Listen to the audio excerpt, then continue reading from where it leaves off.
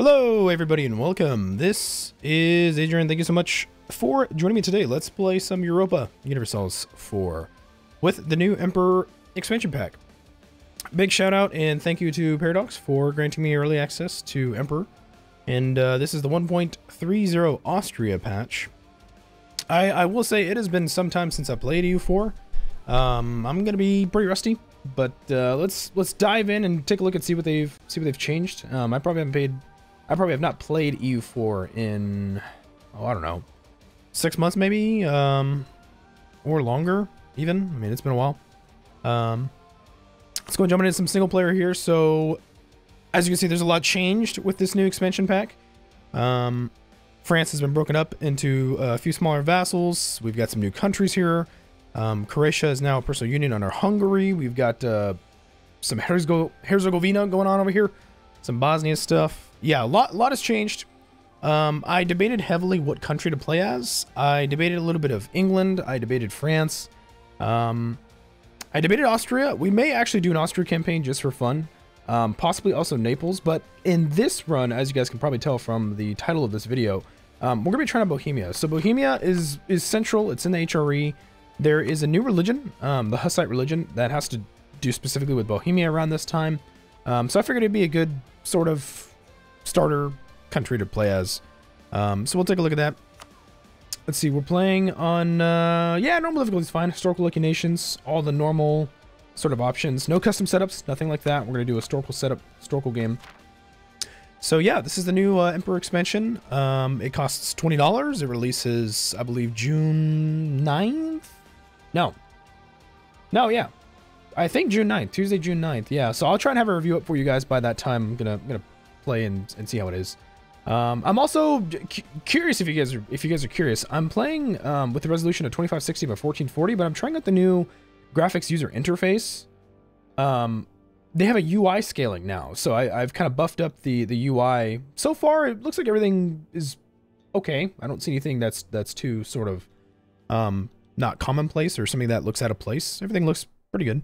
So if you guys are playing at higher resolutions, the, the, the experimental UI scaling looks to be pretty pretty decent. So, um, yeah. So let's see. We're playing as Bohemia. We have an interregnum. Obviously, we have no king at uh, at the start of 1444.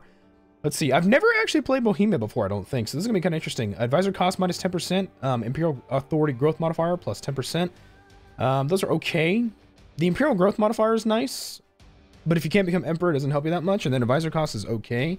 Um, let's see, we get Tolerance of Heathens, Yearly Legitimacy, Infantry Combat Ability is nice.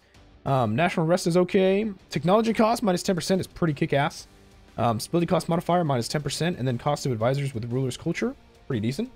Um, we start now, instead of owning Silesia proper, we actually have two vassals now, Opol and uh, both of our vassals, uh, vassals, and then we have a truce with Hungary. So we will we will jump on in. Let's go Iron Man mode. Bohemian. Bohemian. Sure.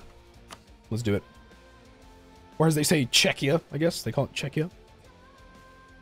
Like I said, it's been a while since I played EU4. You will have to bear with me. We will take this kind of slow. Um, we'll see how it goes. Speed 4. Bohemia is one of the foremost nations in the Holy Roman Empire. Its military might and economy wealth second only to the Habsburgs of Austria, the current occupants of the imperial throne. In recent times, Bohemia itself was ruled from Austria by Albrecht II, whose death in 1440 left the throne of Bohemia vacant. The question of his succession has not yet been resolved, and the Austrians are likely to press their claims. In addition to uncertainties surrounding the succession, Bohemia comes off the back of several decades of struggle between its rulers and the Hussites, whom many in the Catholic world view as heretics. Although the radical Hussite faction was defeated, the moderate Taborite faction, led by Yuri Podobrad, remain influential and will surely wish to have their say in the question of succession and in other matters. Further threats, but also potential allies, lie to the east in the mighty nations of Poland and Hungary. Both have been thrown into chaos by the death of Vladislaus III Jagiellon at the hands of the Ottoman Empire at the Battle of Varna. This has left them leaderless, with Hungary looking particularly vulnerable, but their strength should not be underestimated. An ambitious Bohemian king could settle, or sorry, could use the situation to his advantage and gain valuable allies or valuable new land for the throne. In Germany, many of the imperial princes view Bohemia as outsiders, despite its status as an elector due to cultural differences and worry about living in its comparatively large shadow. An expansionist king might look for French conquests among them. Fresh conquests, sorry, not French conquests. Well, maybe that too. But their support will be necessary for any fresh push towards becoming the Holy Roman Emperor. Choices abound lie ahead, and many threats and opportunities for the Kingdom of Bohemia to navigate. Okay, so I've been thinking a little bit. Um, what do we want to do in this campaign? I think trying out the new Hussite mechanics would be pretty cool. Um, so obviously right now, because we are Catholic, Hussite is a heretic religion here. So we could, it looks like we could convert this stuff. Um, it does not look easily convertible though. Let's see. Does it tell us what types of bonuses we get? We actually get infantry combat ability and missionary strength versus heretics plus 2%. That is kick ass. So probably we're going to be going Hussite for sure. Uh, so far, it looks like our vassals are nice and loyal, so we don't have any issues there. Um, I apologize a little bit. It's a little hard to see the army numbers. I apologize about that. I may have to mess around with the UI scaling in between, in between episodes. So who we rival to? Denmark, Hungary, and Poland. That is unfortunate because I actually would have liked to possibly be friends with one of them. But this does mean that we could be friends with Austria. And on one hand, Austria could enforce claims against us. I think they actually do get a CB at some point against us. On the other hand, if we are allied to the Emperor in the Holy Roman Empire, he probably, as long as we vote for him, he probably would not mind us conquering around in the HRE. So we, we may actually get a free hand to kind of just do stuff in the HRE. Now, at the same time, if we become Hussite, we might be the pariah of Europe anyway. So for now, um, I'm going to go ahead and not pick any rivals. Potentially also because Hungary might fall into a PU with Austria. There's going to be some stuff kind of kind of going on there. So we're going to just kind of play by ear, see how it goes. Um, we have a comparatively strong army. We actually have a pretty decent economy too. Let's go and take a look at our merchants here.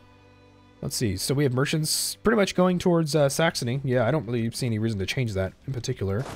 Um, let's see. We have four cavalry. If we needed to save money, I would say to back that off a bit.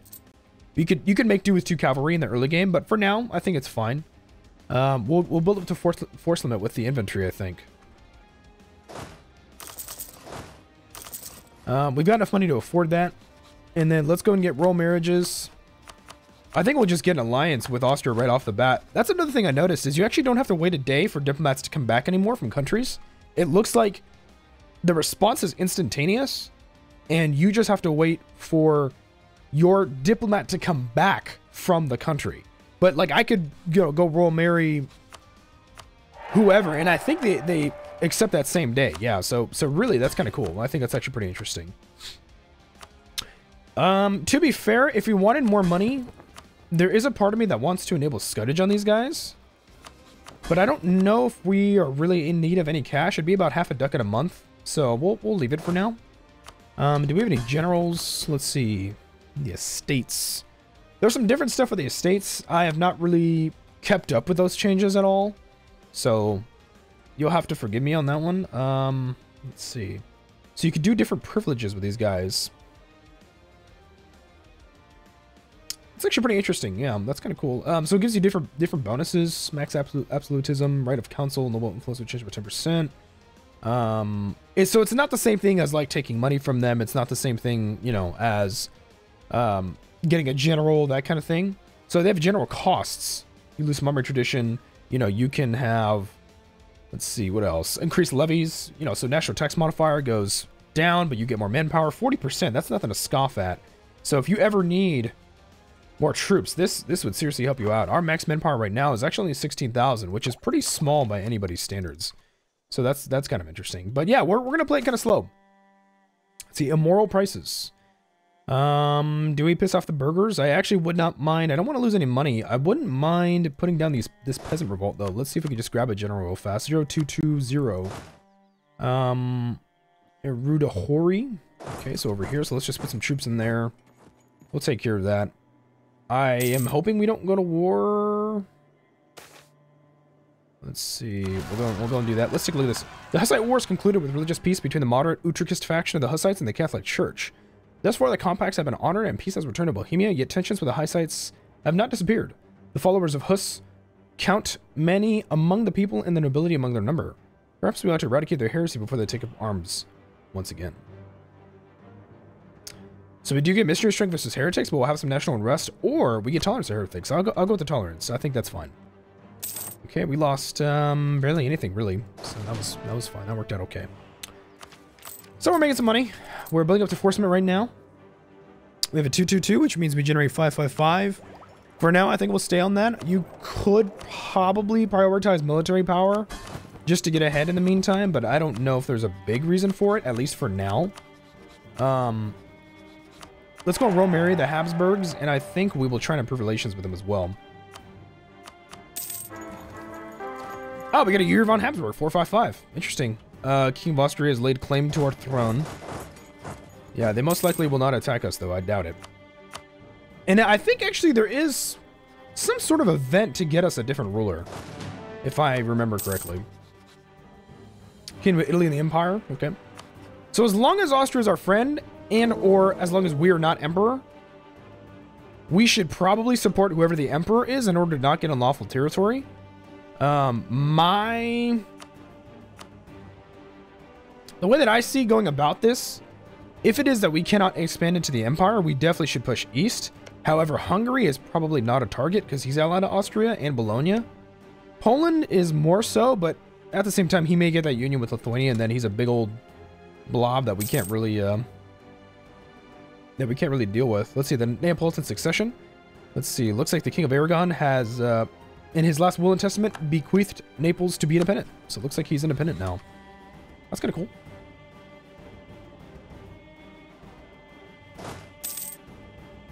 Let's see. We have um, we have a fort here, and then in our capital. I wish this was in better terrain, actually. Hmm. It's a little unfortunate. Let's see. Um, let's see. The Great Bullion Famine. Let's see. We often pay in gold to import silk, alum, spices, and pearls from the east as trade between east and west becomes increasingly frequent. The deficit of gold in Europe becomes more apparent. Gold has become an increasingly rare commodity in our world, but the demand for these luxuries has not decreased.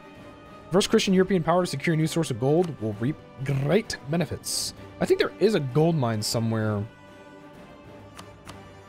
Yeah, so we have a gold mine here, so we're going to want to buff that up to at least 10 development. Or 10, 10 production. Um, yeah, we'll do that at some point. Let's take a look at the estates. Let's see, is it under economic? Where is it actually? Possibly... No, I think it is political, right? States? Seeing who controls what. Oh, is that not a mechanic anymore? Okay, so you can't actually give it um, specific estates to um, so so specific provinces no longer belong to uh, belong to specific estates. Wow, that's actually really interesting. Holy shit, that's kind of cool. Let's see. The Curia controller has picked a papal bull. We're gonna get development costs and tolerance of heathens. Kick ass. Tolerance of heathens goes up. We already had it anyway. Well, so heathens, yeah. So actually, heretics is our is our religion. Heathens is other people. So Christ, um, Christiana Pietis. Let's see. Uh, Barbara of Cilli. The Royal Order of the Dragon was created by Holy Roman Emperor Sigismund and Barbara of Cilli, Holy Roman Empress and Queen of Hungary and Bohemia. Let's see. Do we want an advisor? Um, skill 2 diplomatic rep plus 1, 50% cheaper to employ. Nah, I won't worry about it. For now, I think we're okay. I actually would not mind improve relations guy, though. We can afford him. Because this is going to help us out a little bit.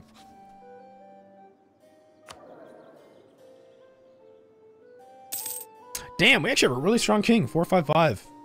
It's impressive. yeah, it's actually pretty impressive.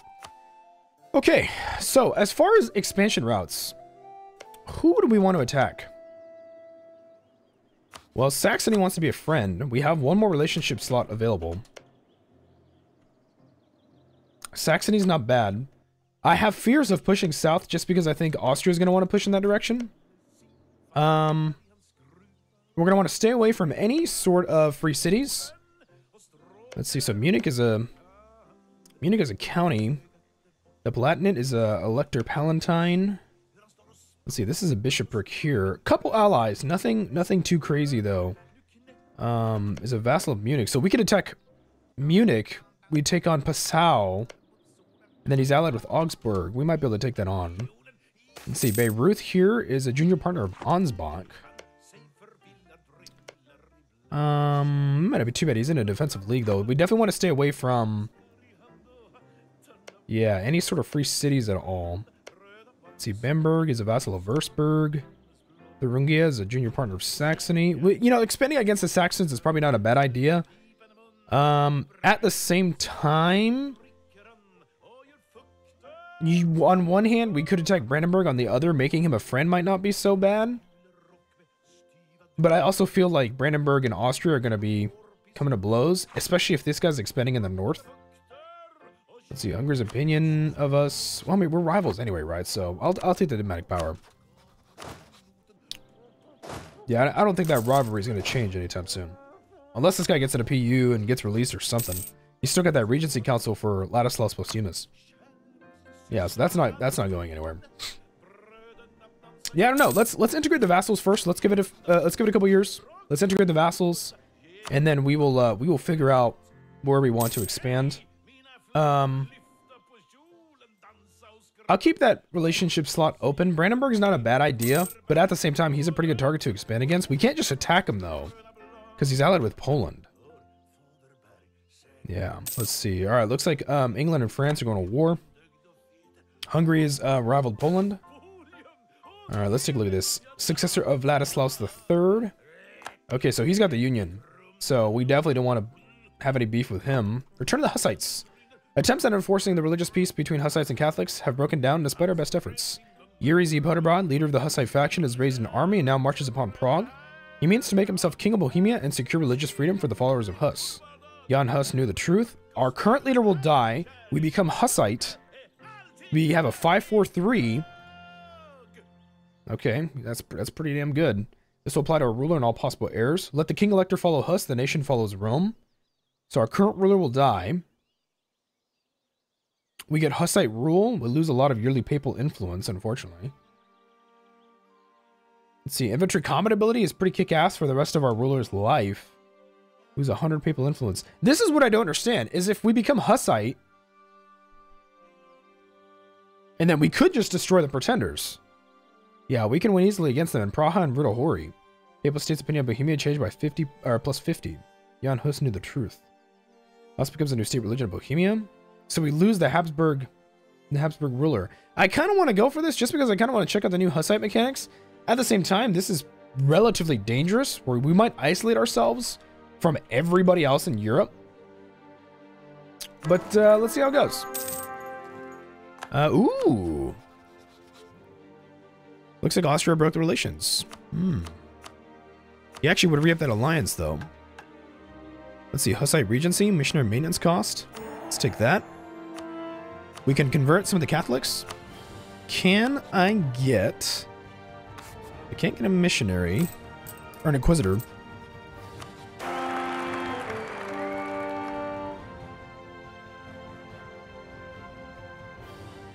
The House of Kusha. Okay, we got a 463 heir. Damn. It's actually pretty good. Um, let's see. We cannot ask Austria for this as we need to have a positive opinion of them. Currently at 97. Okay. So we lost our alliance, which is unfortunate. And my guess is everybody in Europe hates us. Let's see. Opal still wants, uh, we want a royal marriage, though. As long as these guys stay loyal, I have no problem with them being Catholic. We can take care of that in time. Let's see, Moldavia is now ruled by Roman Musat.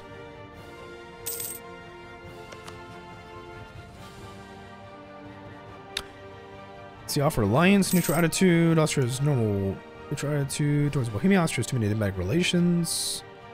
Strength, navy strength, not same religion. Okay. So we did, we did, um,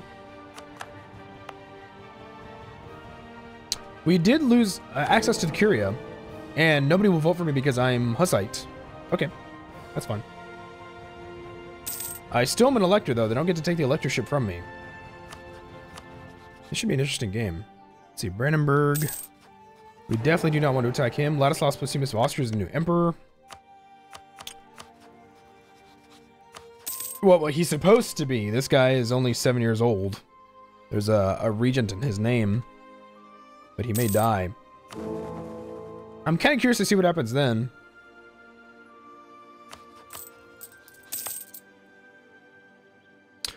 Um, I could beef this up a little bit. Let's see. I do want an Inquisitor whenever I can get it. Um, so the Church of Bohemia, we do get church power because technically I think Hussite is a Protestant religion.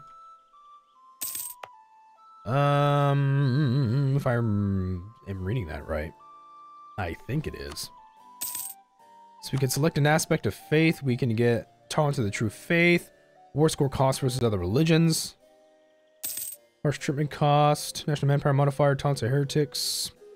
We don't get a lot of conversion. Clergy influence. I'll maintain that met for now. We don't get a lot of conversion modifiers, unfortunately. Um, punishment of sins, yearly corruption, nobility influence, harsh treatment cost. Let's see the clergy. Can we get any sort of yeah missionary maintenance cost? That's not a bad idea. We lose maximum absolutism and they gain more influence. How much do they have now? Not too much.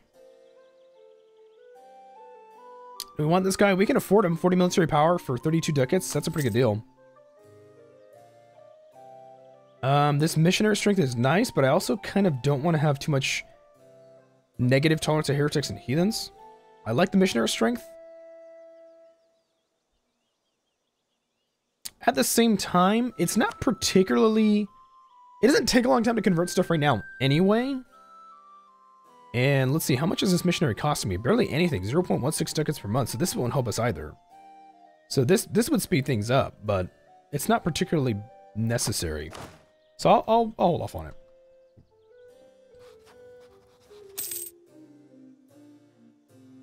Austria for now is pretty neutral. Um, I don't mind pissing him off. I just don't want to rush into it. Let's see, Thuringia. Let's see, Saxony. I may be able to get some alliance with some of these guys. Let's see. Saxony opinion about Bohemia. Reassessment survey, local unrest. So we get more army professionalism. Let's see, this is for 10 years. Damn, local unrest plus 8? That's everywhere? Holy god. What's it at now? Yeah, we go from like... Like no unrest to definitely having it across the country. We have to lose that armor professionalism. It's not entirely necessary right now. I'll decrease army maintenance for now. We have a little bit of inflation, unfortunately. We'll tech up, and then we'll probably start improving this uh, this gold mine. That sounds like a pretty good idea. Um, I don't want to jump into rivaling just a whole bunch of people. I kind of want to Kind of want to see what we can maneuver here.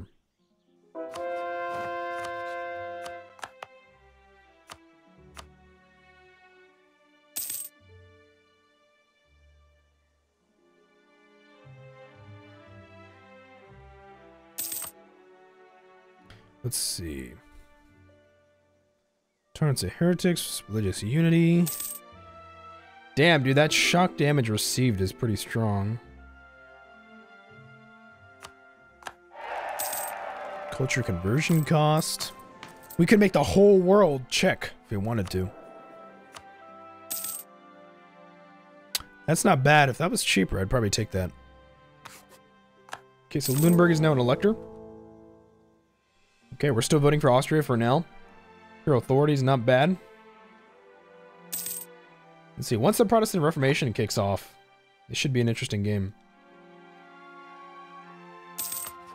As I think as long as we keep our neighbors relatively okay and calm, we should be fine.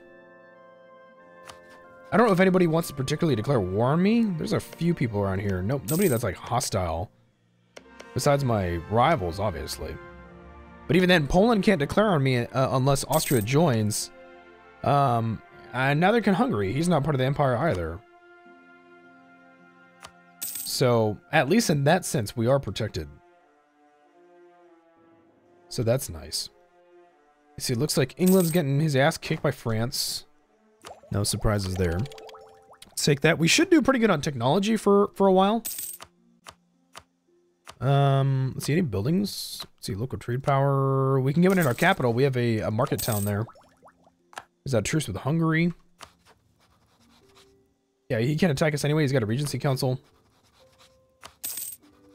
Let's see, junior partners, Croatia. Naples is independent.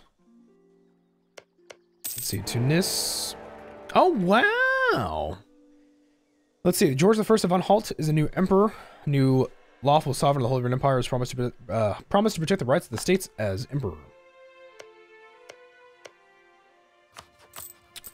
Let's go and up this army maintenance just in case Hungary gets any ideas. I highly doubt Anhalt is going to defend us. Let's see, looks like Ulrich von Württemberg. Austria's no legal heir. Such war between Hungary and Poland. No royal marriage. Italian engineer available. Um, we go into debt for this guy, but 40 military power is not bad. I'll take it. I will also take that, the national epic.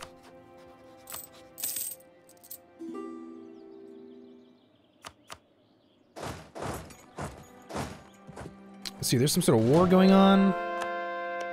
These guys are on the move. It looks like we're fighting Venice and Burgundy. What war? Uh, Venetian conquest of Ferrara. Really? Allied with Epirus and the Knights. So Venice declared war on Ferrara. Ferrara is in the Empire. Venice is not. So my guess is Anhalt, Brandenburg, Hungary, and Croatia have come to the aid. Okay. Let's see, we can't attack yeah, so Hungary is allied to Austria, Anhalt, Bologna, so we can't attack him. And we definitely cannot attack Brandenburg. Let's see, Anhalt. He actually doesn't have that many friends.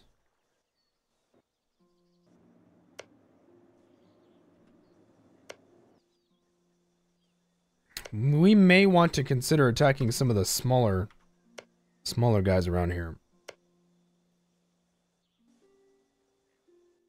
Um, not gonna lie, going for Passau is not bad. He's a vassal of Munich, and Munich really only has one ally. Augsburg and Bregenz. We could probably take them all on.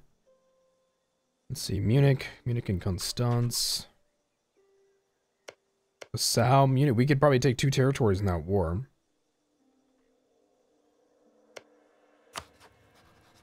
Not a bad idea. Let's let's integrate the vassals first before we before we consider anything else. Let's give it a, a bit of time. Yeah. Um, for now, since these guys are at war, I think we're okay. I don't think we need armor maintenance. I'm going to try and pay off this debt. Build up a war chest. And uh, let's see. We got through six years. Okay.